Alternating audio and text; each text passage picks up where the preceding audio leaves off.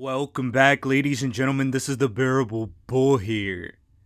And I'm excited to present to you today this aggressively average content for you as we have a powerful interview with the lead privacy strategist at Hedera Hashgraph, Deborah Farber. First, before we get into that powerful interview, I want to show you some upfront information and updates about Hedera Hashgraph and why it continues to be my favorite project and one of the largest holdings in my portfolio. I've been invested since 1.8 cents, and Hedera continues to lead by example. I personally believe Hedera has a real chance of being a quote Ethereum killer. And what I mean by that is that it will surpass Ethereum one day, in my opinion. And I think Deborah Farber probably agrees. You'll get a little taste of that in this interview as well. First, we have Credible Crypto showing a new governing council member for Hedera Hashgraph is ServiceNow. ServiceNow is a cloud computing software platform that currently serves 80% of Fortune 500 companies. This is 100% confirmed. A company that services 80% of Fortune 500 companies is now a governing council member for Hedera Hashgraph. Ladies and gentlemen, this is powerful. This is something you all need to understand. I'm always bullish on cryptos that will outperform what is established in the market. And Hedera, in my opinion, right now is similar to buying Ethereum back at $40. No ifs, ands, or buts about it, in my opinion. That's still left to be determined. But plenty is still yet to be released. Next, from H bar to the moon, ServiceNow has 136 billion as a market cap. It has customers from all over the world and many of them are leaders in their industries. It provides workflow improvement software services which now will integrate with Hedera with full set of new services. HCS, HTS and smart contracts 2.0. Next, just a week and a half ago, Hashport built on Hedera went live, an interoperability solution. And guys, the continued announcements, in my opinion, make it the perfect storm for Hedera to take over in quarter four and quarter one 2022. We have Deborah Farber showing this. This is her Hedera white paper on how distributed ledger technology serves as a Web3 privacy architecture. It's extremely well written, and I highly suggest all of you take a look at it. In addition, Hedera is currently priced at 40 cents, available on exchanges like Binance, KuCoin, Bitrue, Uphold, and others. Please get involved if you're interested, and I bet after this interview you probably will be. With all that being said, guys, let's get into this powerful interview with Deborah Farber. Please enjoy it. Webinar is now live. Webinar is being recorded, and the rascals start trickling in one by one. Good morning, good evening, good afternoon, everybody from wherever you're from today. Um, I am genuinely honored and humbled to be here um, with the opportunity to speak with um, Deborah Farber from Hedera Hashgraph. Um, Deborah, what I'd like to say before anything is thank you. And, um, you know, some of the audience, they may not be familiar with uh, yourself and what you do over at Hedera. So would you like to give a very quick introduction as far as like your role over there? Yeah, sure. Um, so I'm, I'm technically an independent contractor. Um, mm-hmm. I have my own uh, company called Principled LLC, but I serve mm-hmm. as privacy strategist at Hedera uh, in a, more of an external thought leadership uh, perspective. So I'm working really closely with the marketing team and uh, to understand all the different uh, components of the Hedera network and, and network services. And um, I've been writing a white paper, which I swear to God, I've been talking. It's like when white paper, when white paper at this point. um, yeah. But uh, it's completely done. It's like literally, and it's final legs of being reviewed and at layout at this moment. Like I was really hoping it would come out today so that mm. I could mm-hmm. be like, look, this is what I do, right? um, but uh, it probably, I mean, I, I want to say I'll come out later today or tomorrow, but it, it most likely will come out this week.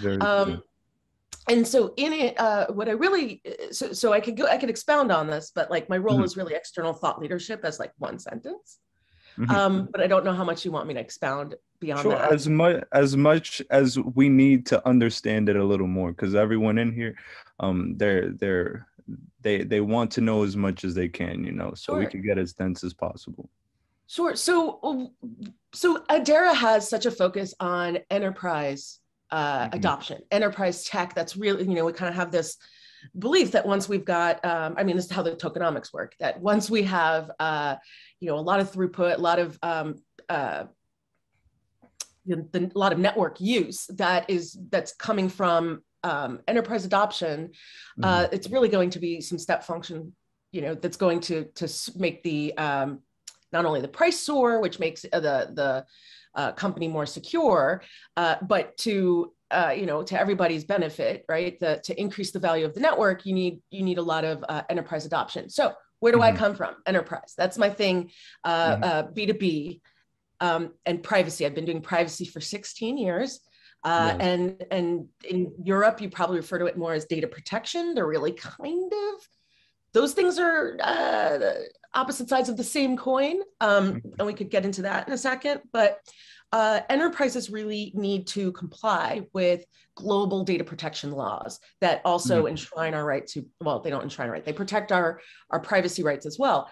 And so um, in, in order to have enterprise adoption, you need to meet a whole bunch of, uh, I don't want to say compliance uh, requirements because this is really something that should be part of core strategy.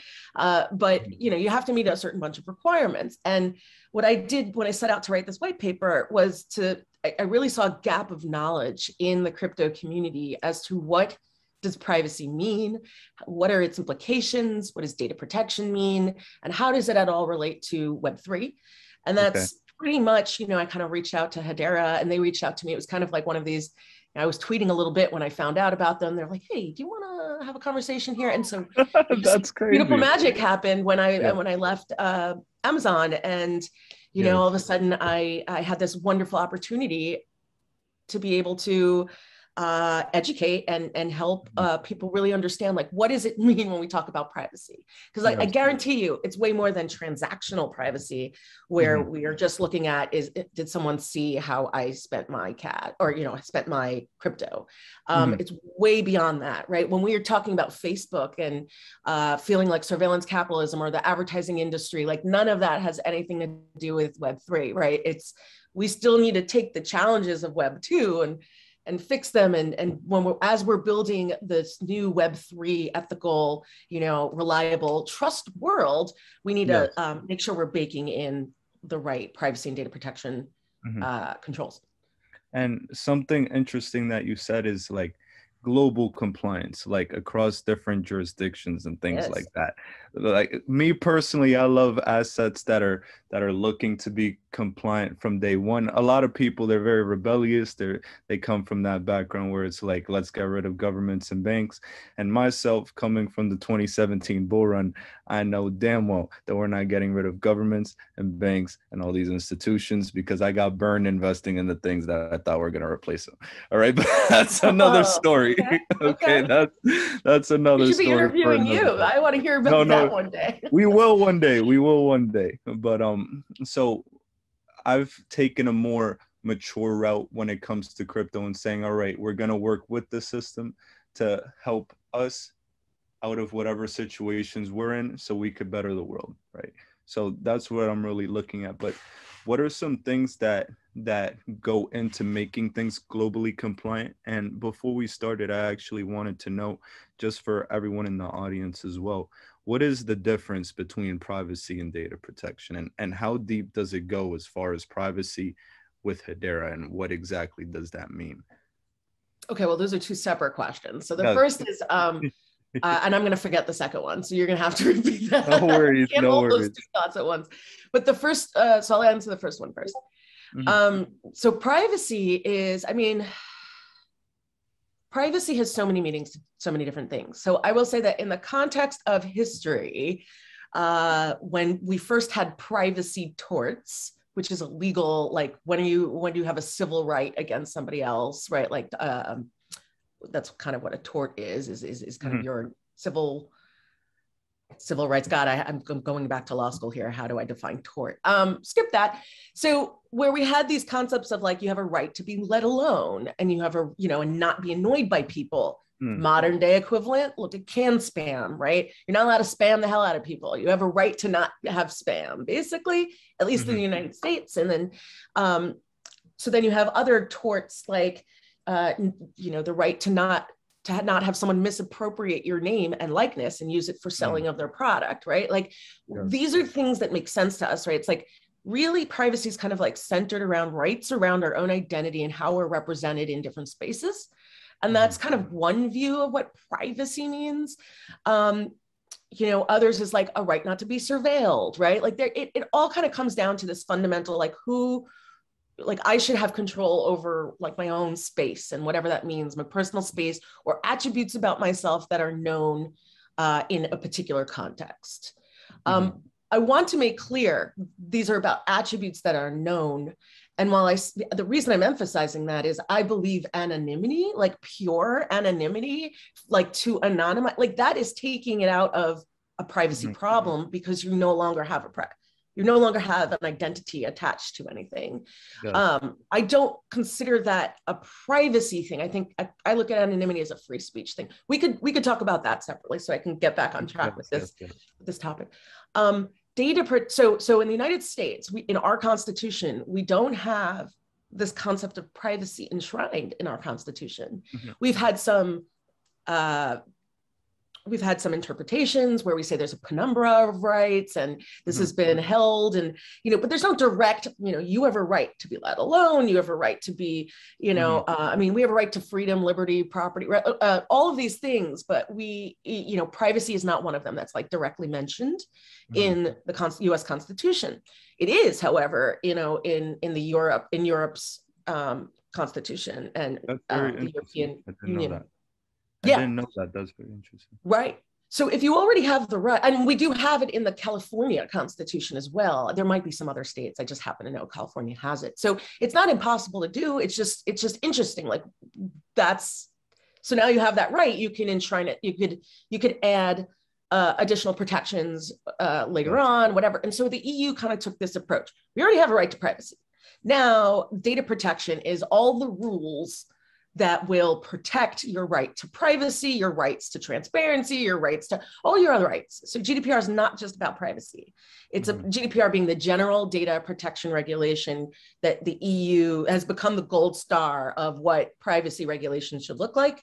Uh, and we use the word privacy here in the United States a little bit to mean a lot of things. Um, The EU, it's got a little more of a definition that's that's specific, where the right is privacy and data protection is all the privacy, security, portability, like all the rules around, I guess, ethically uh, using um, personal data. Got it. And then it. personal data is anything that's linked or linkable to an identifier. So Mhm. we're talking anything that's linked to my name, anything that's linked to, well, I'm not in Europe right now, so maybe that's not a great idea, but anything. Uh, Jordan, are you in the UK? I am in the UK. Okay, I'll use, oh, you're the UK is not part of the EU anymore. wow. Oh, that's incredible. That's it. Rub salt in the wounds, Deborah. That's it. Yeah. and the U- okay, and the UK is doing some interesting things right now in terms of kind of chipping away at some of those rights. So, uh, you know, I'm not following that as closely, but um, so yeah, the EU basically has a, um, a whole lot of principles about, you know, and it's principle based as opposed to the EU. So you'll have a principle that doesn't sound like a rule; it kind of sounds like guidelines, but it's not.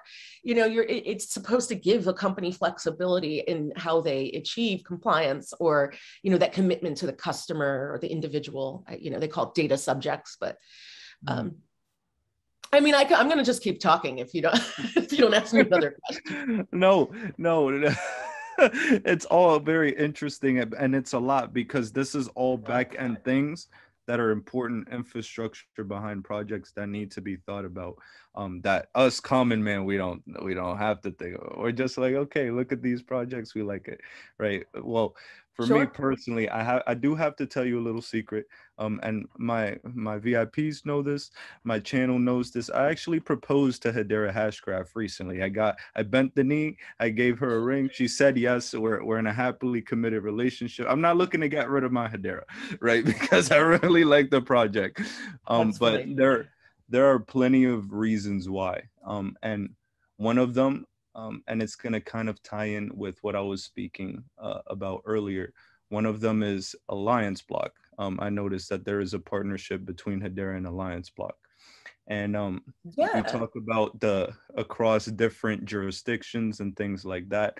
I know that Alliance Block is aiming to be the first globally compliant decentralized capital market and essentially like kind of merge DeFi with traditional finance together right so right right. the reason the reason that's so interesting is because we're in the xrp community we we big fans of xrp and um we have the flare network that will be releasing their spark tokens when the network officially launches within a couple months you know? We're all frustrated because of the delay and things like that but they did release that they're partnered with alliance block to help bridge things together, right? Like me, I'm not the techiest dude. I, I don't have the best technical know-how in explaining things, but I know that connections are made between projects, like little wink wink things. My, what I'm curious yeah. to know is, um, let's see, what I'm curious to know is because I did see that Hugo, the CEO of Flare, had a Thinking Crypto interview um, talking about how current bridge models have a concentration of risk and I know that right. Alliance Block has to do with bridges. What I was curious to know is, um, will Alliance Block be something that can connect Hedera and Flare networks together in the future? Right. Um, so, I mean, I definitely think that it's um, it's important that there are bridges between public networks um, because it's it's beneficial for the whole ecosystem uh, mm-hmm. that assets on one network can be ported over to or you know accessed by uh, you know other networks right i mean so that's it, the, the the best part of that is like the portability data portability and so for me this this meets a uh, a data protection EU data protection requirement of that you should you be allowed to be able to take your data from one provider and port it over to another. So data portability for me is, you know, obviously hugely important. Um, unfortunately, as an independent contractor, I don't have specific insight into Alliance Blocks plans, um, mm-hmm. but it is great to see the interoperability in the broader ecosystem as a whole. Very you know? nice. So I, I could, I just don't know more information in, in this particular instance no worries, no worries. But um, I'm just glad that you addressed that point because this is how I like um, the community to think. It's like, even if we don't know for sure, we can draw connections and, and look at different use cases and how things go. And then we can ask the experts like yourself. And regardless of whether we learn it right away, we have it in our minds, right? So that's very powerful. And thank you for, for stating that.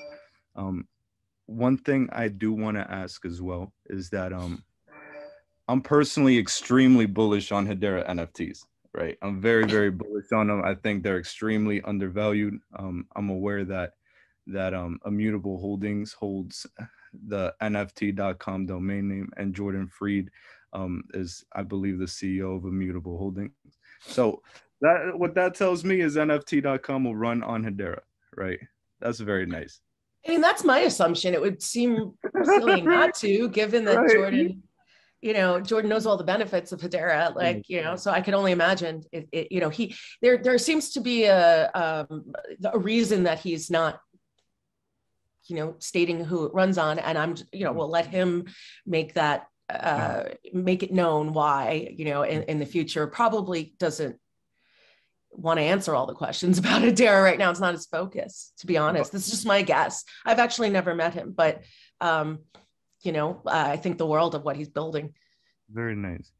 what what I do want to ask though, um, to kind of go along those lines is, are there any Hedera NFT projects that you're currently looking at that you see as, oh, that's very interesting? Yeah, you know, so I think NFTs are really cool, and I think they're cool concepts. But the area that I'm playing in again is the area like I'm such a geek about privacy security, data protection, governance, that kind of space.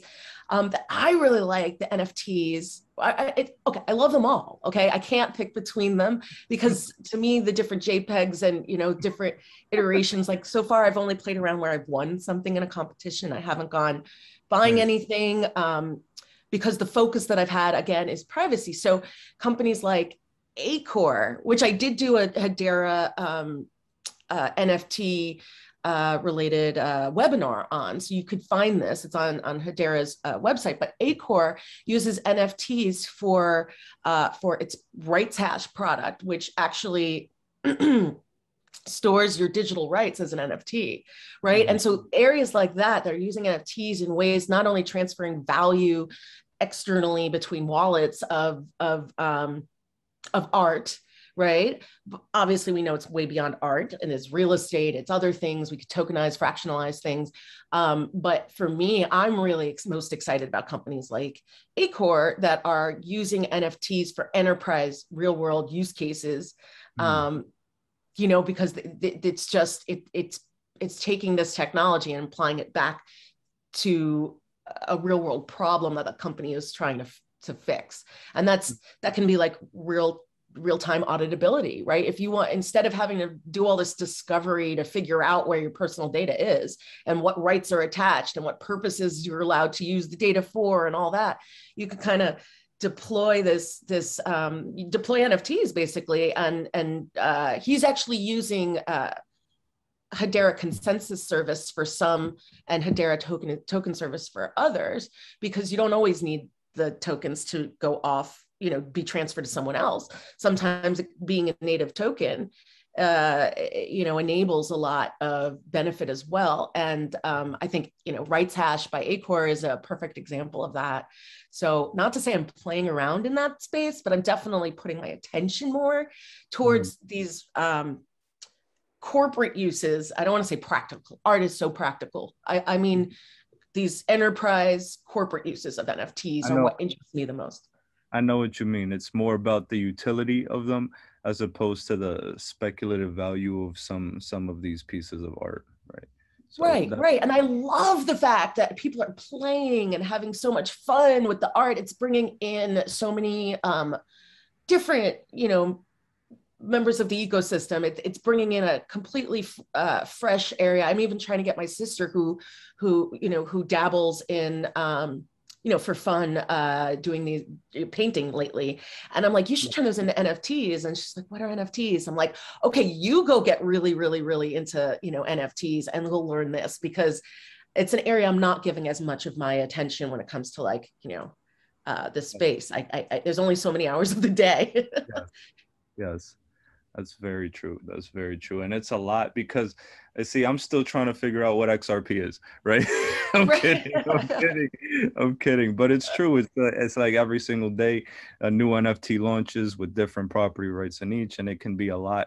We're still trying to figure out why we should convert our real money into internet money, which the real money isn't so real after all, right? So it's it's yeah. it's a hard barrier of entry and and what I need to stress to everyone in the audience is the reason we we take the time out when we have these type of discussions is so that we can continue to be one step ahead of the game. And as far as the learning curve is concerned, because these technologies, they will make an impact. They will make a core infrastructure shift into the digital age. Like a good friend of mine, um, King Solomon, and everyone in this community knows who who he is. He's a he's an important contributor he one time he stated that um that Hedera Hashgraph future proofs the future proof, right? And what I'm gonna ask you is, what does that statement mean to you? Like, how can that be applied when it comes to Hedera? The reason I ask is because I don't even know what Hedera could do. I heard some interesting things the other day, and I oh, want to ask okay. that as well. Yeah. So, um, you know, when you when you say future proof like that, um, you know, I it makes me wish I understood at a at, at a layman level the mm-hmm. uh, you know, virtual voting and gossip about gossip, right? Like I mm-hmm. I kind of just I get the basics like the rest of you and trust in the math. so so I'm not. I, I think I might answer it a little differently, and I'll just kind of answer it as like, what do I think like the best uh, most exciting, valuable parts uh, or different, unique part of, of, of Hashgraph. And I, I'd say right now, what I'm most excited about is the ability to do microtransactions in mm-hmm. a way that's economically viable. Yes. Right. And so what micro the because Hedera has solved the trilemma, the blockchain trilemma, and you know, it has, you know, fast, uh, you know, uh, it, it, it, it, could scale. It's got the, you know, incredibly high TPS that's throttled down to 10,000 uh, TPS, mm-hmm. um, you know, and it's always, um, the, the average fee is, you know, just one thousandth of a penny, which mm-hmm. by being attached to a US dollar value, what that does is it allows enterprises to really budget for the number of transactions they're expecting in a quarter, a year, whatever their budgeting, you know, really entails. Um, and, and this is what enterprises need. They need some level of, I want to say certainty, but of, yeah, some level of certainty where they can budget for things and get approval. You can't do that right now for so much um, where high gas fees are, you know, cl- uh, clogging up a network and making it expensive. You're not necessarily sure how to how, how much it's going to cost for a transaction of something. Um, and so for me, it's this capability to do microtransactions that's opening up completely new markets. Yes. So, uh, you know, a great example is the ability to, like, if I had solar on my, you know, uh, if I had a solar panels on my roof, and um, you know, I I ended up using that energy, but I had excess energy. Uh, now maybe I could sell it back to the energy grid, or I could sell it to my neighbor down the street. Like mm. these are becoming economically viable. Uh, and there is a company that's working on that, and I just don't remember the name, and I feel like a fool. But uh, it's okay. You, you, we can we can look it up. Um, the, the, point is that this that Hedera is able to well, one, I love that it does those things I just said. The other is that as it's been built, and I keep repeating this um, different places, but but Jim Nasr, who is the CEO of Acoer, uh, has said this to me while I was still kind of really learning the the Hedera network services, and it resonated because it made sense. And I'm going to say the same to you. He says, "What I love so much about Acoer is that it meets my expectations of a real time like."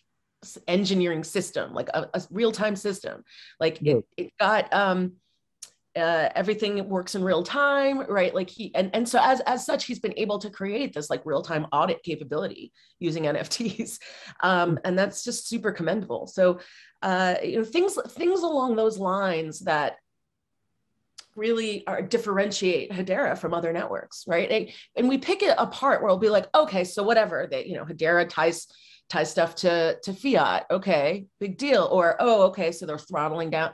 They, they're able to do 10,000 tps today. But what what what we really need to be looking at is like threading that together. What's what does it all mean? And what it means is that Hedera is a beast of a, of a network that has been thoughtful uh, for the long term, the long haul. It considers itself a hundred year company, meaning it's not deploying short term thinking. It's deploying long term thinking. Uh, what do we need to do for the next, you know, the first few, you know, first phase, the second phase, right? We have a whole, we're like, yeah, we're not a hundred percent de- decentralized today. So people pointing that out, it's like, yeah, and where we here is our plan to uh, plan towards decentralization, right? There, there's a, a stepped plan that needs to take place and happen, and it's thoughtful, and the company, you know, uh, is is super transparent about it. Uh, and you know, it's all of these things in this long term thinking that has has made me and the powerful tech behind it that has mm. Gotten me really excited about Hedera. And I think it's gotten, you know, so many people, not just, you know, you've got your retail investors, you've got your, um, uh, but you also have like large companies as well that are just, this is something deployable and usable for public trust uh, mm-hmm. that they just don't have today. And I really like the the point you brought about the micropayments, the low mm-hmm. fees, and the fast transaction times because just the other day a, a couple weeks ago we saw that it for a one hundred thousand dollar U.S. tether transaction, it cost twenty three million dollars in gas fees. right, so that's that's Oh, two hundred and thirty times what you were sending in just gas fees alone. Right, and there's so, many stakeholders in the network that that frustrates right so there's your um i mean as a as a as a retail speculator maybe you're not able to get your i don't know nft out of its out of you're not able to sell your nft and you want to because someone's going to buy it for more or whatever Yeah. uh, because it just costs too much or uh, so it could affect retailers or not retailers but retail investors. It could affect companies because you know it, there's less certainty in the market and they don't understand you know, how much it's going to cost them to run this program anymore right? That might then impact you know institutional investors and so so this whole market is um is is congested uh by a lot of other um you know non hedera based uh I love it. I love how you said that. Wait, so uh, I'm gonna kind of I'm gonna kind of trap you with saying that real quick and really hammer that message home. We we all know that Ethereum it, it's kind of like the mother of the crypto space, right? It birthed this entire community of of coins. This eh, it was smart contracts. It was the first one to do that. However, we see that it's having scalability issues and that ETH 2.0 keeps getting pushed back a little bit, pushed back a little bit. I don't believe that anything will be an Ethereum killer because Ethereum has seg- placed itself right at the heart of the global blockchain industry. It's going to survive and nothing's going to kill it. But right, I think something one day will surpass it. Do you think Hedera could be one of those coins that has the potential to surpass Ethereum? personally yeah i mean i'm putting my whole career you know i don't want to say my whole career but i'm throwing my weight to you know towards hedera i mean this is Yeah. this is where this is i think the the product is genius uh, I mean, you know, uh, I think Leemon is a genius. like, uh, and I, I, I, yeah, I mean, I get it. As an enterprise person, Hedera makes sense to me to be used by enterprises. Now, of course, I want to make clear anyone can use Hedera. Um, but the fact that it's built as an enterprise grade network that's still affordable and available to anyone, I mean, is a huge thing. Where, where does that exist anywhere in, in, in Web 2 tech? Uh, you know, just, just, oh, maybe Google, maybe, maybe you get access to their, you know, I'm, I'm, I'm just thinking here out loud, but there's very few instances where uh, the everyday person who wants to just build whatever they want to build can have access to enterprise tech uh, for for either for free or for the same price or for the you know generally available, uh, except maybe open source, right? Um, which which Hedera is, with the exception of the of the patent on the um, the hash graph itself. So um, you know, I guess I'm reevaluating that. Um, and then the original point was, I'm trying to think, uh, hammer the point home that, oh yeah, I mean, uh, so Ethereum definitely has, I mean, that's where all the VC money has gone, right? So you've got two factors going there. You've got um, so much money is in play that people have picked their bets that no one's kind of looking behind them to see what's coming next. Mhm. Um, so there's that, but there's also, you know, all the development. I don't want to say all, but so much development has been going on in the Ethereum space. That's so much knowledge about how to build an Ethereum is, is um, you know, has been built, and and that's not going away. And so, you know, I, I think Ethereum is going to do just fine. I think it'll be do, doing well for for years to come. I just think that there's challenges right now, and and you know, there's there's absolutely good reasons to take a look at the Hedera network and services. Um, and I, you know, personally, I'm, I'm not going to offer anything to anyone else about how they think about, you know, what networks they use. But I'm so sold on Hedera that my that I I will look at if someone's like, look at this project, what do you think? I'm going to be like, all right, well, I'm going to look at it in the context of Hedera is what I know first, and I compare everything else against Hedera. Most people in crypto have, you know, kind of grew up in it a little more. I don't want to say most, but a lot of people. So they started with Bitcoin and then uh, Ethereum, and then maybe then they gra- I don't, then they move on to others like Hedera, uh, and they're comparing it to what they know of Ethereum. That's just not how I I got into the space, so it's a little backwards for me, um, and I just I feel like I lucked out by really getting involved in Hedera first because now I feel like I've got the gold star of what of what a um, public trust network should look like and with thoughtful uh, architecture and uh, you know development ongoing development that um, i compare everything to hedera. And that's i think been an easier way uh, since it's so I, I, think it's superior to most that i think it's an easier way for me to to see what's actually novel elsewhere and what uh, uh what what is actually um, different in a better way uh, to hedera um, piecemeal but you know looking at other projects and networks and I do think that's a big part of the problem, right? Because we in the XRP community, um, that's really where we specialize in. I, that's where I come from. But um, we're going through a lawsuit right now. Ripple's going through a lawsuit right now, and we're see the whole community has been boom exposing some corruption with Lubin and Novogratz and some SEC potential conflicts of interest, and it's a whole show that's going on in this. Like we see a lot of nonsense. So politics is playing a role like the the interest behind ethereum is playing a role on why it's exploding why it's propped up even though the tech may be antiquated um, to to other solutions like hedera that's in the open market. Now right. before we continue i do have to reemphasize this fact. How many years do you have an experience in enterprise?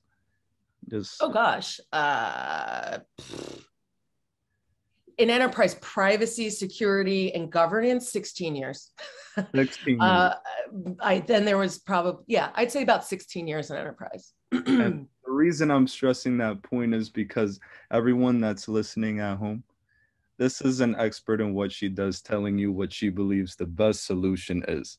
Right. I personally don't own any Ethereum anymore because anything I'd put in Ether, I, I put into Hedera. Why would I? It's like I feel like you know, people in crypto are used to what they know and used to um used to how things have always been. Now looking forward to how things are going to be. We're at the point where utility and adoption is going to ramp up. NFTs have definitely brought to the public eye this digital space. And people aren't going to want you know 23 million dollar transaction fees or you know maybe an hour to to get your things. They want want things that are cheap less than a penny. It takes three seconds and there does fit that bill. So that's that's important. That's important guys. Hammer at home. Yes. But um, it's important. let's see. So there are a couple more things i really want to power through. Um so as a powerful infrastructure project I believe that Hedera will kill it for the years to come. Um, I get feelings about Hedera similar to when Ether was first like getting started in 2016, 17. That's that's why I proposed to Hedera, right? so if if Hedera would were to be successful, um, what value would it be providing to the world? And I know we kind of we kind of touched on it already, but let me let me um, let me really uh, narrow it down here. What target market what do you think the uh, possibilities are as far as as far as the total market hedera can get if it happens to do what we both think it can do right so um, i mean it goes back to hedera's vision uh, mm-hmm. it is it aims to be the the you know the trust layer of the internet um, mm-hmm. it, it's not aiming to be the best coin, right? It's aiming to be the trust layer of the internet, and that's a bold mission, and it's one that I'm like so excited by. I, I joined, you know, I joined uh, the team, and uh, you know, because there's been so much mistrust in the Web two world, uh, there's been a lack of protocols for privacy, security, you know, trust. Um, mm-hmm. And then, so basically, because you know because of the Hedera, it, it, has solved the blockchain trilemma. It can achieve all the goals that blockchain set out to do, but because mm-hmm. it isn't blockchain and it's Hashgraph and it can do it, you know, it can do all three things all at once. Um, in the end, you know, and it's a public network, right? Not a private deployed DLT solution. It is a public DLT solution. Um, the whole goal is to underlie the, you know, pretty much commerce uh, you know, uh, uh, transactions. It's, it, it could be outside of um, just financial payments. So any type of transaction at all, uh, you want to be able to trust. You want to have like no, tr- not trust the other person uh, on the other side of the transaction, but still have a, a, trusted result in the end. And that's what Hedera gives you, right? Like the ability to have trust where there is none, Um, and so by being the like bottom layer uh, and that network layer and, you know building all on top of it, it, it it's really you can inherit the trust from the network uh, with the dApps and the DAOs or any app nets or whatever you're creating on top of it. And so one of the reasons I really gravitated towards Hedera is that I've um, I've been trying to get companies in a Web two world to really fix the problems and the privacy debt, technical debt that they've had out there for so long. And the technical debt just keeps getting bigger and bigger and bigger. And you see more mm-hmm. breaches and more, you know, um, accidents with per- people's personal data uh, in a, you know, and, and so the rallying cry on my end and people, you know, in my, my profession has been shift left and you know build with privacy by design and use privacy engineering principles um, but it's just taking so long to get enterprises to really reverse their boat, mm-hmm. uh, including most of the companies I've worked for. Yes. Uh, that I'm so frustrated that I see this as an opportunity here where we're building a new world. And at the network layer, we build in the right things. We're thinking about identity differently, right? I mean, it's not just Hedera, it's the whole industry is thinking identity differently. We should mm-hmm. own our own keys, right? Not some corporation. Um, all of these, you know, decentralized identifiers and identities, um, these just you know self-sovereign kind of perspectives right? This is changing but then we put it into an environment like uh, i don't want to say environment like a network services like like uh, what hedera has to offer. And then it, uh, the end result is that you get public trust right? Mm-hmm. so so you're going to be inheriting that. And so it just kind of like like ivy which is what Hedera is, is an English ivy. Uh, it's going to slowly spread around the world, spread this public trust around the world until it's everywhere. And you know, when it becomes slowly spreading to being everywhere, we don't have timeframes on that, right? Even Leemon talks about there being some step function where eventually we're not going to necessarily even know that uh, all of a sudden this giant use case is going to deploy to the network that completely changes the game. And no one can predict that. I mean, we, we, we can predict based on things that we see, and that this is where Bearable Bull, you come in, uh, you know, to, to serve that purpose for the retail and uh, institutional investor world. Um, it's not the world I play in. I'm, I'm, I'm here more on the tech side, but mm-hmm. yeah, I, I, I, think that the main, the main thing is the public trust. Yes. That that's what everyone's going to be eventually getting from Hedera. That's the big benefit. That's the world, you know, benefit that you're going to get. And I, I, say world benefit. I mean, Deepak Chopra is building on Hedera. Like Seva mm-hmm. Love just, you know, he just announced Seva Love, and I, I mean, it's just communities and communities of, of, of, of, change agents are choosing Hedera to, to build that public trust and change. Mm-hmm. So it's really exciting times. And, and I love how bold Hedera is aiming to be because I tell all my students this and my audience this. I love cryptos that shoot for the stars because even if they fail, they'll land on the moon, right? Because failures like make you better and you fail upwards, right? I personally don't think there's going to fail. I think you guys have already succeeded and are being very, very humble. But here's what I'm going to say. Um, XRP, we oft we have a saying um, in the XRP community called the Internet of Value, right? Where uh, we we believe we're trying to come after all the damn money. I always say that we're after all the damn money. Well, Hedera Hashgraph is going for all the trust, the trust layer of the internet, right? In 2017, I invested in this crypto called Substratum that was claiming to be the the new the decentralized internet. Now that project came and went, and it failed, and it you know did some speculative price action. It was all good, but you know people got burned. A failed project. I don't think Hedera is gonna fail because if a failed project like this could do some explosive things with nothing, something like Hedera that has proven partners, individuals like yourself, and um, much better use case and utility, I do believe there's plenty of runway for that. And um, people should be um, definitely considering educating yourselves more, even after this interview is posted, right? Um, we all have to make our own decisions, but I still think we are rock bottom relative to where we're going in the future, right? Right. So, and everyone wants to know, like, well, when is it going to change? Right. I mean, like, who knows? Right. We, uh, you know, we can't plan, we can't plan that stuff. Um, you know, like I, as a, as a, the company itself, like I don't, Hedera can't plan when it's going to, um, you know, when it's going to have that major step function. But all, all, all we can say is that it, it, the price needs to go up significantly um, in order to secure the network and be able to release, you know, more more coins and more supply, right? Because for Hedera, uh, part of the security of the network is that you, you can never have more than one third of the network taken over by any one mm. actor. Um, but but less than one third, you're, you're still got a, a, a, trust. You've got trust in the network.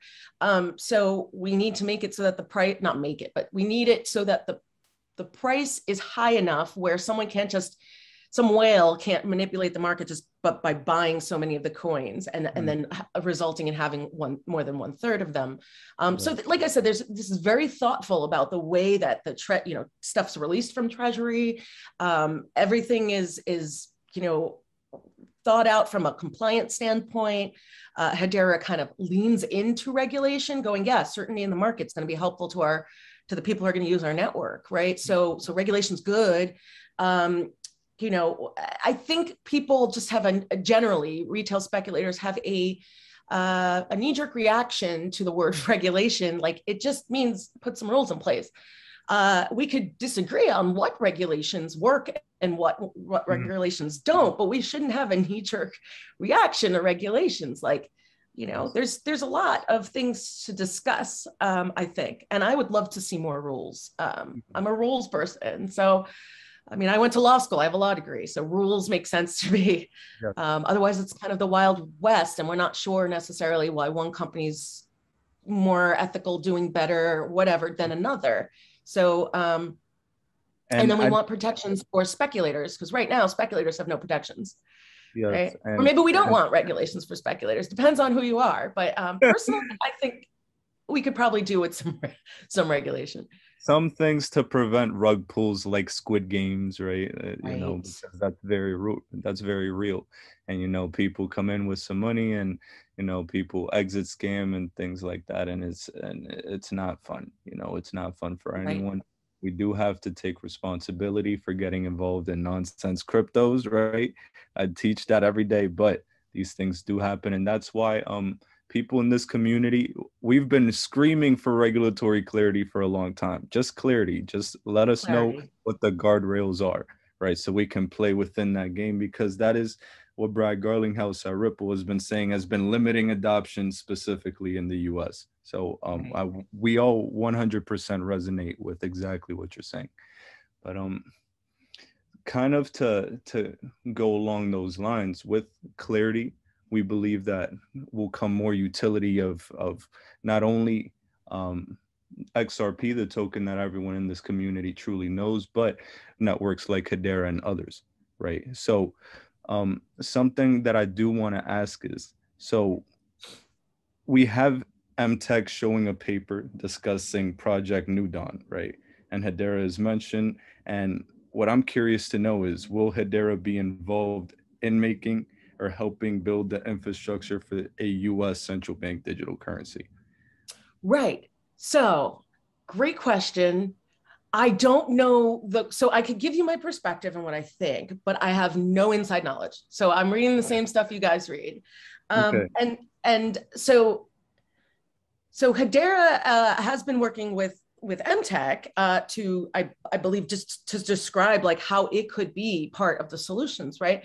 Um, mm-hmm. Whether it's a particular bank is actually talking to MTech and Hedera about deployment, I just I have no insight into. I hope so, mm-hmm. but uh, you know, I don't I don't know. Um, what I will what I will say here is I will um, I just want to maybe prevent conflation of some ideas. So uh, for your audience, not that you indicated mm any any misunderstanding.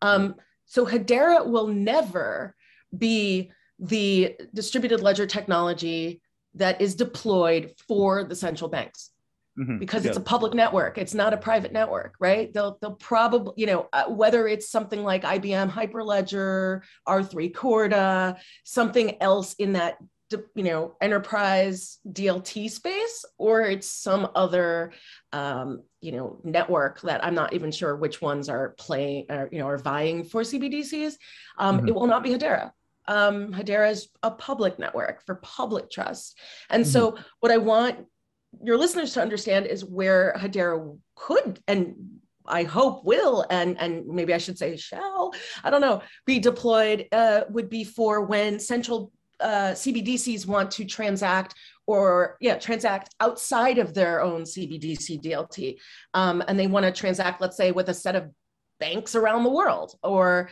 uh, you know maybe it's not well, yeah, one is, is banks around the world. Then they need a public network within which that they need to um, be able to you know to trust that tr- those transactions had finality Hedera has finality in seconds. Uh, they want to trust they have that throughput, that it can scale, like all, all of the same things we're looking for. But this would be for public trust.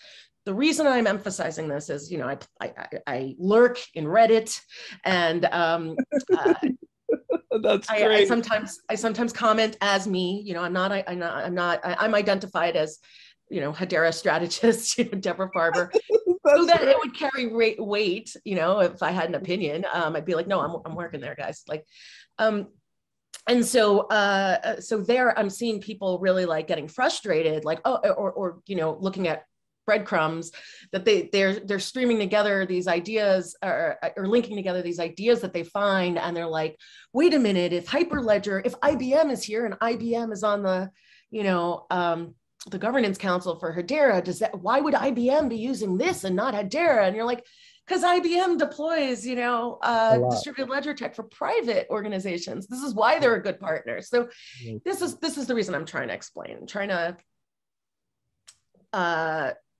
educate that the, the CBDCs is is a multiplayer uh, space, and it's not Hedera or, or, or bust. It's it's going to be uh, uh, several players for any CBDC um, architecture. Uh, and that'll, you know, hopefully could include Hedera for, for public consensus and trust. Yeah. Very nice. And I, I think that's very important because we're good at putting connections together to things like, oh, we saw this and then the IBMs and all that. But then at the end of the day, there's like some tech that is involved in this as well. That means yes, it's a reality or no, it's just, you know, some nonsense that we formulated. So I'm very right, glad right. That, that, you um hammer it home that yes, this is something that can happen, but but really distinguish distinguish how um things can right really work, right? So that's very important. Um, but kind of to stay on the topic of central bank digital currencies, right? Because the XRP community, Ripple, and and all that, we're we're in the CBDC space. Like we we have our ears to the streets when it comes to that. Um, Ripple recently came out with the private ledger for for CBDCs and and things like that. So I'm just like, okay, privacy. Let's talk about this. what I'm curious to know is um as far as privacy for um for individuals are concerned, central bank digital currencies, I don't I don't like them. Not really, right? I don't really like them. What is your take on the privacy aspect for normal citizens with central bank digital currencies?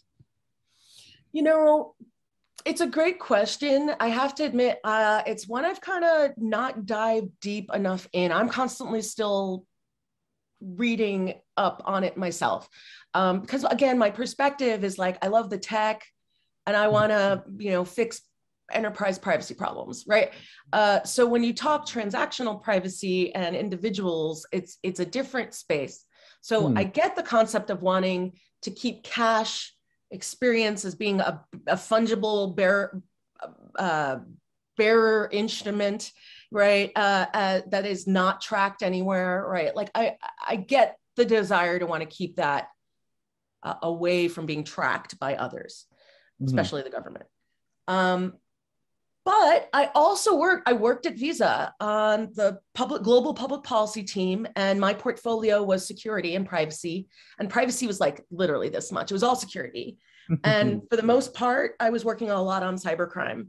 Um, uh, cybercrime, biometric authentication. I mean, there were a bunch of issues, risk, but for the most part, I did a lot on cybercrime. And I really, truly, I've seen how much Visa has to try to combat lots of fraud. People go where the money is, right? We're seeing this with, we're seeing this now. You're seeing rug pulls because people go where the money is. Um, and I've seen KYC be super effective um, I've seen, you know, some of these things are really actually like intended to preserve the integrity of the networks and trust in the system. Um, and, and so I, I don't, I don't align with a lot of the strong ideologies in crypto, um, mm-hmm. but I understand where they come from. And so I constantly reevaluate and ask myself, okay, is this, in my opinion, an absurd knee jerk reaction, or is this something a misunderstanding that this person has? this person being anybody on the internet kind of in this amorphous space i'm, I'm putting them all in this box right now that's a little unfair but i guess my point is we have rules where you know at least you don't have to track necessarily and, and explain to the government where your data is or, or who, you, who you're selling something to or where it's going unless it's over t- uh, $10000 right? Um, is that the right level? I don't know. I mean i'm not i'm not in it enough to know about me oh it should really be 5000 or no it should be 100000 or we shouldn't have it at all right? I think mm-hmm. we should have a number where we start to track uh, money laundering and potential fraud and all of that. I mean i think that in in, in i think we need it for tr- integrity and trust in the system uh, so you know I don't know. I don't know. Though I don't think the Wild West is is necessarily and, and have the government track nothing. It's a difficult dilemma, right? It's, it's a, a, difficult, difficult dilemma. Yeah. I, am still I'm still thinking about it. Let's put it that way, right? Like I'm still I'm not in that space enough to really have an opinion that I drive home and go, this is what you should all be thinking, right? But I'm just giving you a little bit about where I'm at right now, and um, you know, I'm not I'm not in crypto for the ideology behind the original uh, blockchain and original, you know, uh, yes. cryptocurrencies. So, you know, I don't know. It's more like convince me, right? no, no, I'm not trying to convince you either. I was just curious to know what your thoughts were on that. But that's, I like that take. I like that take. Right. I mean, my thoughts are, I think we should be looking at all sides of like, how do we make sure that we are appropriately protecting people, but not protecting them to a point of paternalistic, like restricting them, right? So mm-hmm. I look at things like, look, uh, you know, when we weren't, we, if we're not accredited investors, we were never allowed to invest in, um. You know, large, like the Google and you know uh, AOL at the time, right? Like we weren't allowed to because we were not considered sophisticated enough to. So mm-hmm. um, the Jobs Act actually allowed crowdfunding, regulation crowdfunding, and now we are allowed to uh, invest alongside uh, as as not as just regular people uh, invest alongside accredited investors that's cool that brought us into the fold it was like before it was like you're too much you're not educated enough to be able to make this yes. um, you know potential investment that can actually be wealth and life changing and then it, you know a lot of people are kind of pissed off about that like don't tell me i'm not sophisticated enough you're now denying me this opportunity to make a lot of money off of what i think the future looks like Mm-hmm. So, well, that's happening now. People are allowed to do that, right? And you're allowed to invest in that through regulation crowdfunding and through crypto. Um, but crypto is going to have its own set of unique challenges that I don't think it's off for the government to put some rules around. I don't. I know I'm going to get a lot of flack for this. I don't think that. Oh, I think we're a nation of rules. we're in the we're we're on the same boat. We're my my audience. We we we know we need regulation, but we we're concerned about how hard the regulation could be, right? That's always the concern because it's a great, it's a concern we should all have. Absolutely. Because, little old Gary over there, Gary's having a blast saying that rules are clear and all that. I'm like, we're not a big fan of Gary.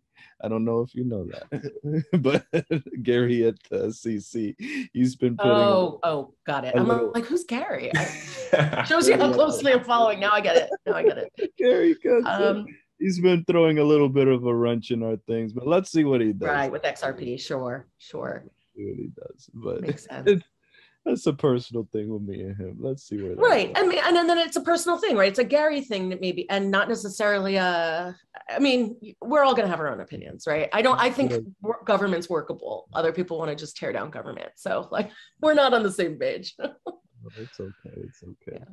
let's see let's see so i do have this um this one thing i was curious about so a little while ago the hedera governing council allocated around 5 billion to help the Yeah. ecosystem develop um where have you seen the most development happening with those funds and also you did say um there are still funds that are going to be deployed in the future do you have kind of like maybe a little sneak peek as to where that could go down the road? I like poking around to see if I could get something. yeah i mean uh so so first of all i think this is super exciting because what this is gonna what this is doing right? Because so many people were up, upset when i say people i mean redditors right? Twitter twitter people like the social media uh, retail speculators uh, have been frustrated that the hedera team has not been uh, marketing on their behalf on, on, on retailers behalf. Um, Mhm. And that's something that the hedera team feels pretty you know restricted by. Like look they're trying to not do uh, anything that's going to hurt them regulatorily until there's more clarity around what they are able to do or aren't.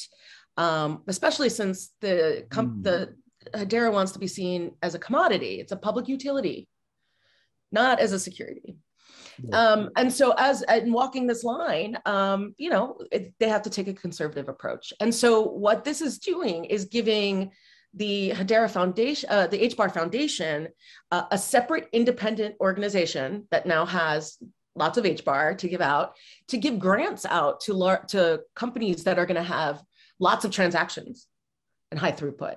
And so the goal is now that the HBAR Foundation is kind of the, you know, providing the capital to Mhm. companies that are saying, look, we have all this, you know, all these transactions and throughput we're going to put on the network. And these the HBAR you're giving us today, we're going to put that right back on the network through these transactions. Um, you know, maybe they're gonna maybe they'll they'll use like, hey, set a, a company might receive the grants and and then give out some free HBAR to help drive adoption on their service, which will Mhm. drive adoption of the network, which will drive up right. So we do this with lots of different companies and give them millions of dollars.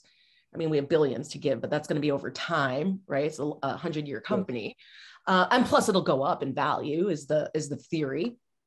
Um, and so now the HBAR Foundation has a lot more flexibility to come out with more, a little marketing focused, a little more sponsorship of. I saw it yesterday that they sponsored a particular uh, influencers blog. Um, so you know there seems to be a lot more flexibility there.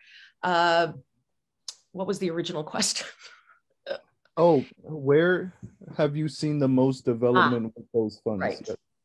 Right, right. Well, I'm not sure I could say. Uh, so I am in some discussions uh, because there. I am a. I'm an advisor as well. Besides my work with the Hedera, um, uh, you know, I'm a part-time privacy strategist for them. I'm also an advisor to uh, just under ten uh, privacy tech and ethical tech startups. Um, And then actually a few companies that are doing some work in, with Hedera right now as well. Um, I'm not going to mention things, but there are a few of the companies that I've either invested in or have um, or am advising that are seeking funds from the Hedera HBAR Foundation. Um, I would say that right now, I can't tell you like where I see it going because I only see my slice of the world. But what I can say is that it, will take a little. The the, the HBAR Foundation is getting its sea legs, right? Once it was announced, they were they were a small team before they scaled up and got that money to scale up. You know, taking in all these requests from companies that are seeking money from them and they have to do their due diligence they're not giving out just a hundred grand here i mean we're talking millions of dollars right they've got to do their due diligence so it's taking a little longer than you all want to see some announcements about what will be uh, given grants uh, to drive network adoption um, but uh, that hasn't happened yet and i can't steal their thunder i don't know enough to say this is where it's all going. I only know my small slice of what I've seen. And I can tell you that the team is working really hard right now, like, like iterations and iterations of, of, of the proposals and the, you know, just to make sure that uh, I's are dotted, T's are crossed. Um, because they don't even have the processes in place they're creating them right now right so you know keep that in mind like they're working really hard to to let us know, uh, you know, and and bring these grants uh, to fruition. And it just hasn't happened yet. It'll drop when it drops. Yes, yes. I knew I knew I had to poke around, but that was Yeah. plenty of information to get me even more excited. So really, thank you for saying. I think you should be excited. I mean, the big thing about Hedera uh, having the HBAR Foundation, you know, we what we saw in the market was, you know, what we normally see, uh, you know, buy the rumor, sell the news, right? So, so once that was announced, what the big announcement was, right, which was huge. It, you know, we saw Hedera drop again because this is a completely irrational market anyway. Mhm. Um, yes, yes. and uh, you know, and that's all I'll say about the market. But uh, we should keep in mind that the announcement itself of the new HBAR Foundation, while huge, is nothing compared to the grants they're going to give out and the announcements when they make them, right? Like it was only the first part. That was only part one. Um, so we should stay excited. I mean, five billion dollars is like a lot. It's a lot. laughably exciting. Like it's just mind blowing excitement. So, you know, we should continue that excitement. It's just, I think we've got these um, short attention spans as humans these days. We've been, you know, we want everything like quick and now, and it's really hard to hold on for the long term because Hedera's building out a long term vision. And honestly, I, I think it's the right move. Uh, Yes. but it's also hard to wait and sit and wait when you're just so excited for the future to be here, right? If there's one thing I could do better than most people is I could wait and not and and I like doing less, specifically on the investment side. It's like things like this. I teach people. I'm like people do a little bit of research and learning how to buy an asset or, or a stock. People do less research learning how to sell it, but almost no Mm. one does any research on how to own what they already bought. Right? Me, I like I like the idea of I like owning of owning what I have, right? And interviews like this, this makes me want to own even more. I, I'm owning after this call, Jordan. Oh, that's funny. But but it's very important, and I really appreciate you saying all that because you did hit a great point, stating that there has plenty more money to deploy, and it can be the the the price is still yet to appreciate in value as well. So it, it'll probably be more money to deploy in the future than we can even imagine. So it's it's very exciting. It's very Right. very- And it's in the hands of the HBAR Foundation, which is completely independent, separate organization with like, well, if I- you know, affiliation that it was like birthed from Hedera. Um, that's where the affiliation ends. And then, of course, some people, well, it's not where it ends because some people from Hedera moved over to the HBAR Foundation, but they're run separately. They have completely different missions, um, and they are not in any way, you know, jointly uh, collaborating or colluding on anything, right? So, so that's very important. Hedera could not have done a lot of the things that the HBAR Foundation, being an independent organization, can do, and and I think that that's going to, uh, yeah, that's exciting. It's exciting to see what they end up doing in terms of accelerating the ecosystem uh, development and and bringing people onto the platform because that's really their mission right now. Yeah, that's Yeah. excellent. And kind of along those lines, I'm gonna get to the audience questions because one of Oh, those great. has, has to go with uh, what you just said. Um, Patrick asked if an individual was looking to build their project on Hedera, how would someone go about starting the process? Um, I'm aware of the grant Hedera is offering to individuals. Can you go a little deeper into that? Yes. So if somebody is interested, like they have a problem they know they want to solve, they know they want to solve it with distributed ledger technology. Uh, maybe they don't necessarily know where to go to. They're thinking about building it on Hedera, but they don't necessarily, maybe they're not a dev themselves. Um, you know, uh, uh, hopefully you won't get inundated with this, but uh, what I normally do is I just, you know, email Christian Hasker, and make the intro and say, you know, Christian's the chief marketing officer at Hedera.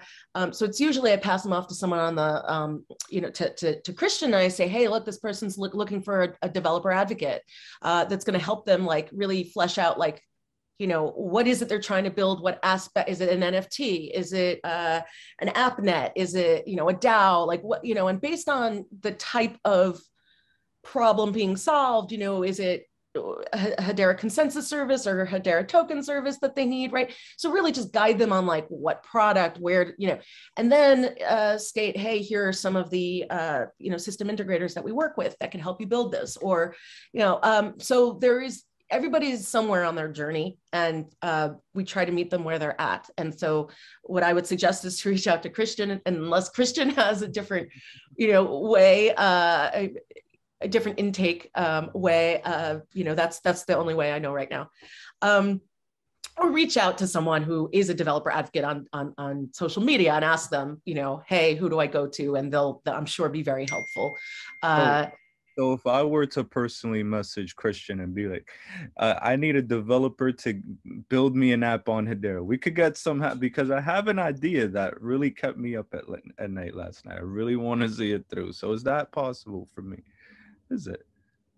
Yeah, I mean uh, that that's that's what the developer advocates are for. So uh, my understanding, yeah, is that that's the case. That he'll be like, uh, "What do you, you know?" He'll either take the call himself, uh, that might not be sustainable in the long term, but right, uh, or be like, "Oh, you're doing this," and pass it on to somebody else on the team who who he thinks would be like a a, a, a good developer advocate for that particular scenario.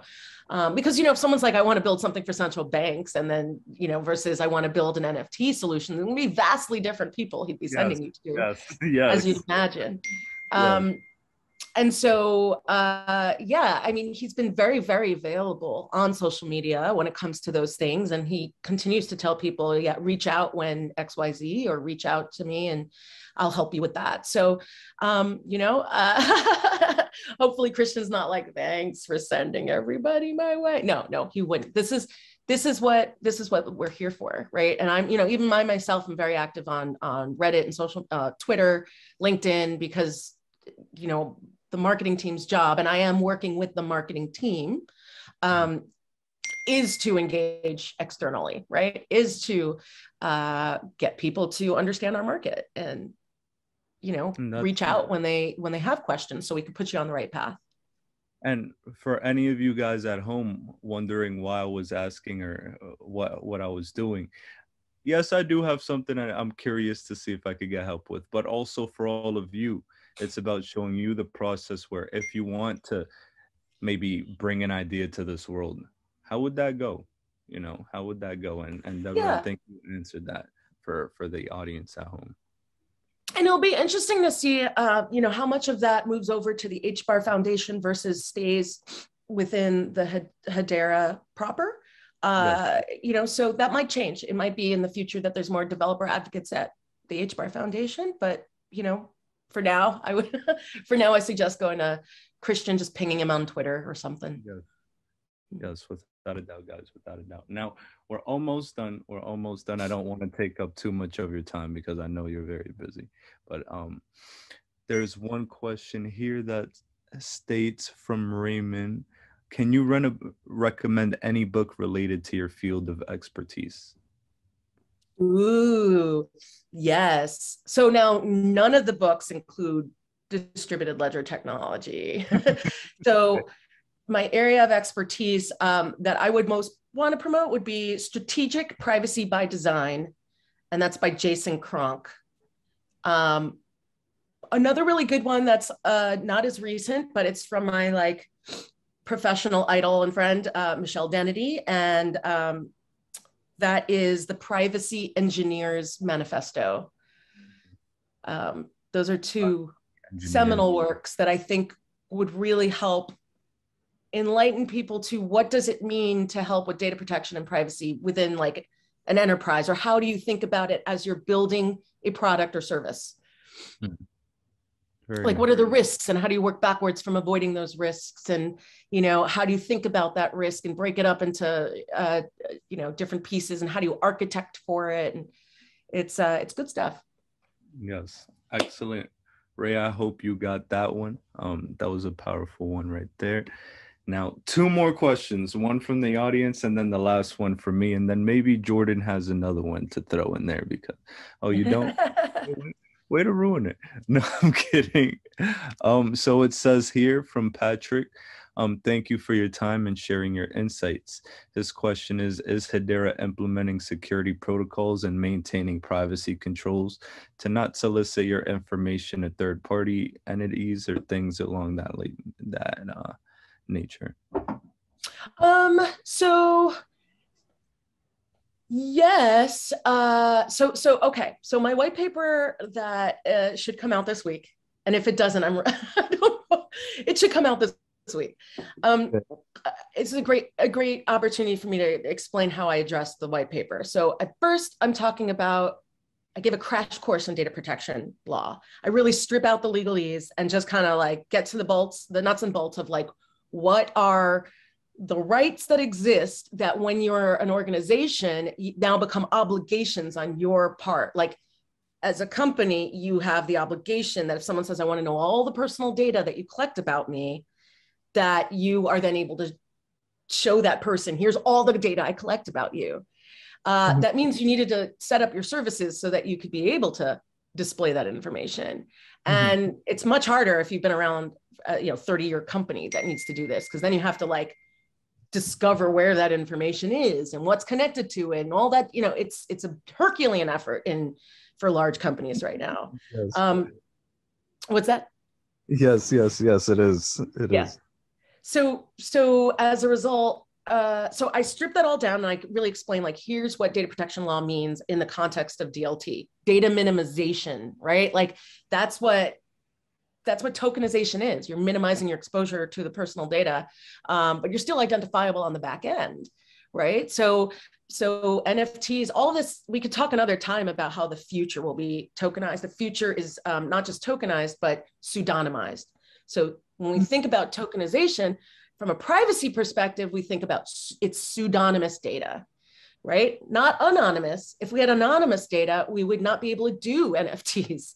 So, no. so there's an exciting world here. Anyway and then um, so basically what i want to say it's all built into how the network was created to enable these different um, things. And then i talk about how hedera hedera's network services uh, are you know what are the privacy characteristics of those network services? So rather than get into very specifics right now like what are the privacy characteristics of an account? What are the privacy characteristics of you know hcs um, I want to just kind of throw out there that pseudonymization is really like the theme we should be thinking about.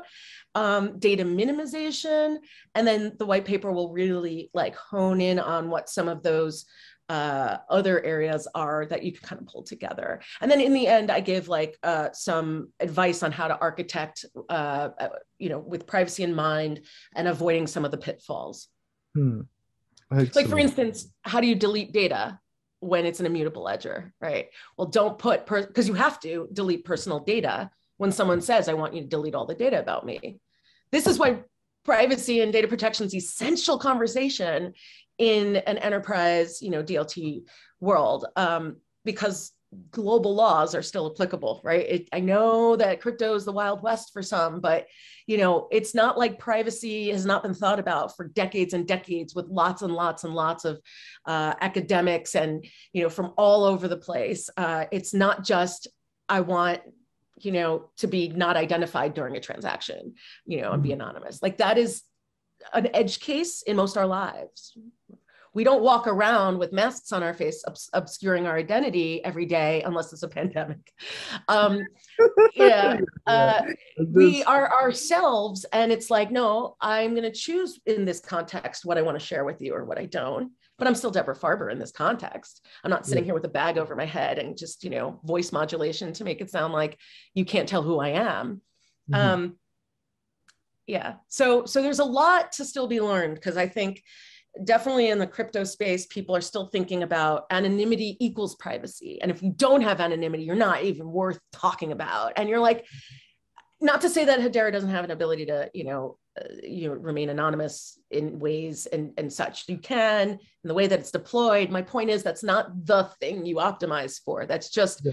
one flavor of how do you obfuscate how do you protect people and it's done and it really should only be done in in very in edge cases um, in, in, my opinion or it's done to you know so so that you could have free speech in an environment, it's more of a free speech issue to be anonymous than it is a privacy issue.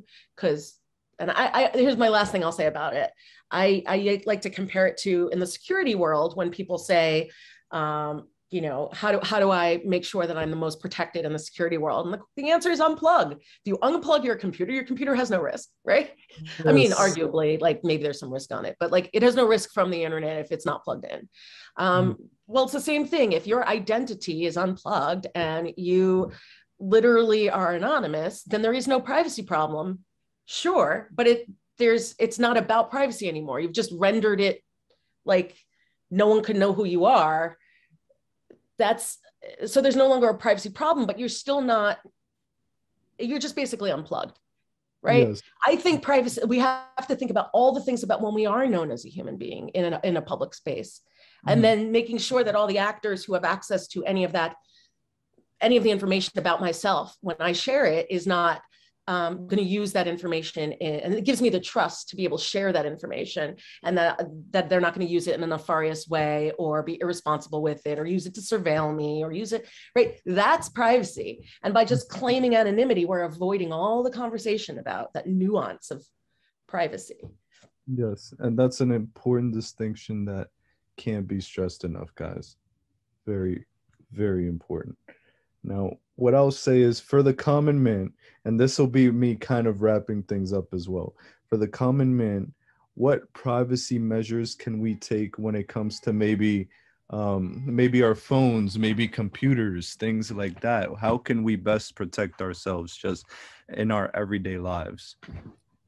Yeah, well, I think uh, honestly, everything comes with anything technology related is going to come uh, with a set of defaults. And so i would just make sure that you understand the um, you know all the different toggles and things and and and, and settings that uh, you know might give you a, more of a sense of, of privacy. So the way things should be built ethically and according to like most laws today uh, it should be built with um, you know privacy by design and default which means that by default, all the toggles are set to the, the most, restri- most restrictive where you share the least. So that if you want to share more, then you go to the defaults and say, I'd like to share more about myself, right? Mm-hmm.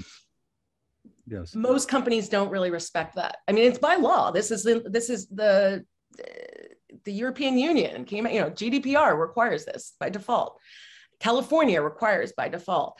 Um, but we're still not really seeing it actually being built like that all the time, right? We, we see things where toggles are like, oh, you've, you know, your toggle is on so that you're opting into our newsletter or, uh, you know, like things like that should not be that way. So I would say just make sure, go through all your defaults on, uh, you know, make sure that you have all your settings, maybe quarterly go through and kind of take a look at what your settings are. And then reassess what your your threat model is. So for me i've been saying for a long time i am not a very private person. Like i actually might be more of an oversharer right? But many people might actually consider me more of an oversharer. And i don't even mean this conversation. I mean generally. I'm not generally a private person. Mm-hmm. um, uh, but even I, I'm getting much more exposure than I'm used to, right? Like yesterday, I watched a YouTube blogger for five minutes read my long ass like you know uh, reddit comment. And that was the essence of the post uh, the, the, the the video and it's been viewed 2000 times. And all he did was read my reddit comment. Now i'm not upset by it but boy do i feel a little exposed right? I feel a little like 2000 people watched this guy read for five minutes something just, that could have been like a link to my reddit comment. But just wait until people watch this one. Well right and don't don't you think i thought that too? And so i'm now rethinking to how exposed do i feel? I might want to restrict some settings on my social media or whatever because I'm, this is outside of my domain and now outside of my comfort zone that you have a much wider broader audience. My point here is to share that privacy is about context context matters always. Uh, depending, you, you, think about the context in which you'd share information with a doctor versus some ran, rando on the street you meet, right? Like context matters. And so you have to reevaluate over time what you're comfortable with. And so I do that quarterly. Others can do that whenever, whatever piece you want. Um, but that's my suggestion is just always reevaluate your current thinking, your current feelings of being of exposure or you know what whatever whatever goes into your own thought process but that's what i would suggest to you excellent excellent yeah deborah what i'll say is um, i don't think i have any more questions jordan has stated he doesn't have any more questions and the vips haven't had any more questions come up either so, well, I've answered everything. Nobody has anything have, else to ever ask. Have all the answers. there is one. There is one. If you want to look after Raymond Ball, and if Deborah, we can steal you for two more minutes. Oh, okay. Okay. Yeah, this just came up. All right. Uh, final question: Does Hedera see Global ID as a partner or a competitor? It's a good question. I don't even know who Global ID is. Global ID. I'm so sorry. Is a uh, Greg Kidd's company in crypto. Greg Kidd. He used to be at Ripple, a, a early investor in oh, Twitter. I see. Yeah, yeah. So someone I should know, I just don't. I'm so sorry. Um, I there's a lot I need to learn about XRP too, and because I haven't been able to buy it during the time I've been into crypto because of mm-hmm. the le- uh, legislation, I have to admit I have have not done my own research enough yet um, there. So I will. I promise you, I will do more of it after this call, and maybe I'll even like shoot you a Twitter message or two to to uh, send me on the right track. But I, I haven't been following that. I'm so sorry. No, no worries, no worries. Yeah. But um, now we've officially answered every question, Deborah. Okay. um, I have this has been say, so much fun. Thank I have you. to say again, thank you so much for taking the time out. You're an absolute beast. Um, I've learned a lot today, and I still have um, so much that I I know I'm gonna want to ask in the future. So um, um, it's well, great. I'd be glad to come back. So, uh, you know, it's it, gonna be. It's been a pleasure. I love. I could talk about this stuff all day. So, you know, I like it. I love we'll it. We'll definitely have you on another time to make sure. Once Hedera has more of the compliance thing going on in the world there in the go. United States, then we're really gonna see how how uh, special this one can be. Right. So, Excellent. everybody, thanks for tuning in. Deborah, thank you for being here. Jordan, my brother, that was another great one. Um, peace out, guys. Much love. All right. Bye, everyone. Bye bye.